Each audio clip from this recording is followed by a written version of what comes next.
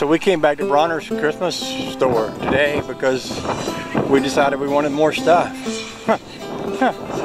Imagine that.